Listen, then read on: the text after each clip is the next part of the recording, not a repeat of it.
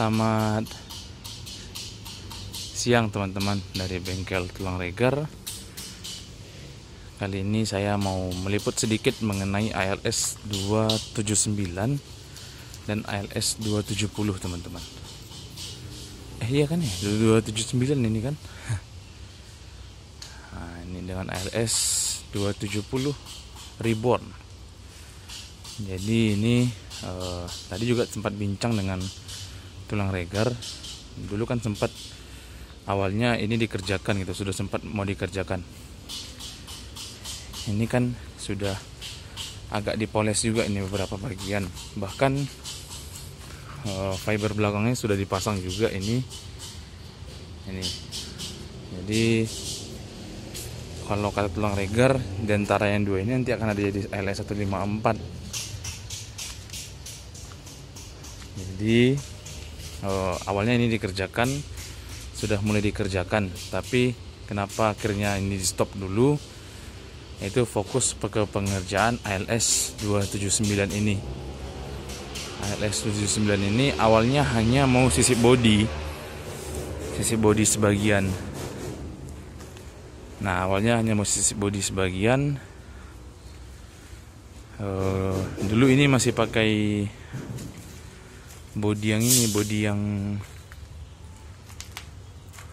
body yang ALS livery lama. Nah tapi pada akhirnya sisip body full.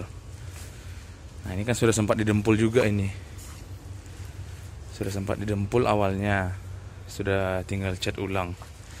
Tapi ini kayaknya dibongkar lagi ini dempulannya. Memperbaiki plat-plat sisa seperti ini nih.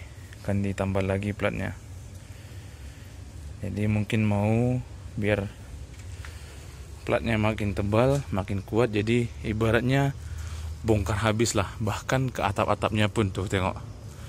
Kita coba masuk ke dalam ya.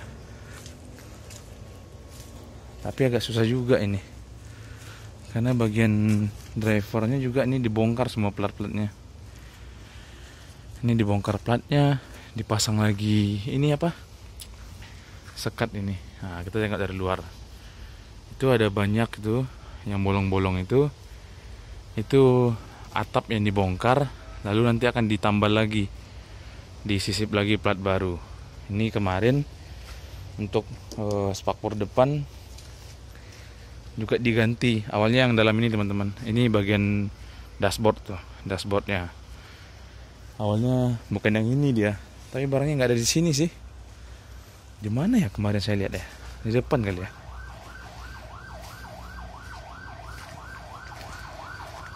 Nah, di depan itu tuh, di depan. Jadi ini sudah diganti juga. Terus spakbor depan diganti, baru bagian kepala juga diganti. Nah, dulu awalnya kan ini akan jadi 270 reborn gitu. Tapi kalau tadi saya tanya sama tulang regar fokus pengerjaan tokenya sekarang difokuskan ke ALS yang 279 ini. Kalau ALS 279 kan itu kan eh, ekonomi.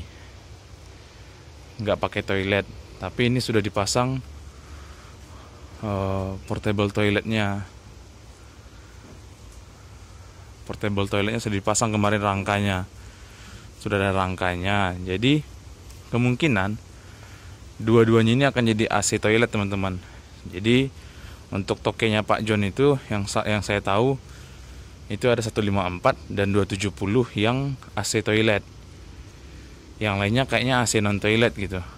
Jadi kemungkinan ya seperti saya bilang tadi antara dua ini ada yang ada yang jadi 154 ada yang jadi 270 nah kan banyak nih teman-teman yang request untuk update nya nah inilah update nya teman-teman belum ada perubahan yang banyak untuk ALS yang ini. Tapi yang ALS yang ini nih sudah banyak perubahan.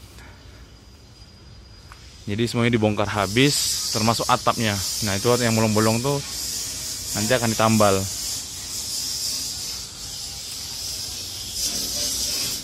Nah begini.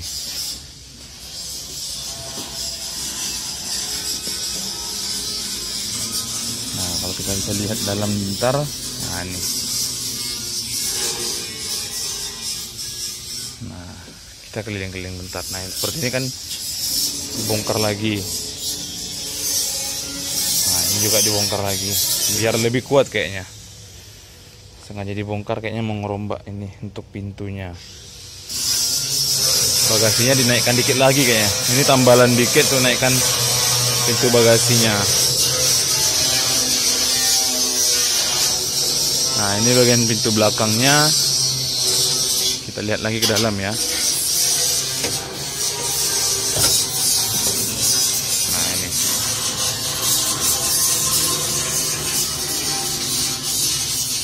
Jadi di sini kemarin sudah ada uh, portable toilet gitu. Tapi sekarang dibongkar lagi. Kayaknya karena mau ngerjakan atap-atapnya teman-teman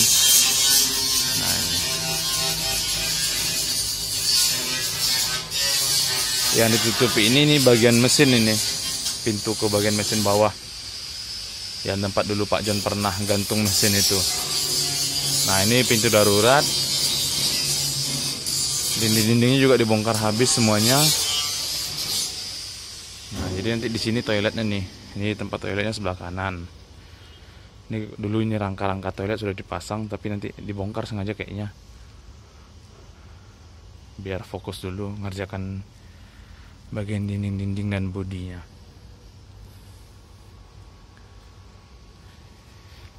ini sasisnya kalau ini sasisnya 1521 teman-teman. Cooler. Ini dulu 279 ini ngisi trip Jogja. AC non toilet yang kelas AC ekonomi. Nah ini setirnya nih yang parang setir tampah. Ciri khasnya ALS eh, ciri khasnya 1521 saya bingung juga lagi mau ngebahas yang mana tapi saya hanya memenuhi hasrat teman-teman ingin lihat perubahan dari ALS 270 Reborn dan ALS 279 kita doakanlah mudah-mudahan cepat selesai. Segera uh, mengaspal dua-duanya ini.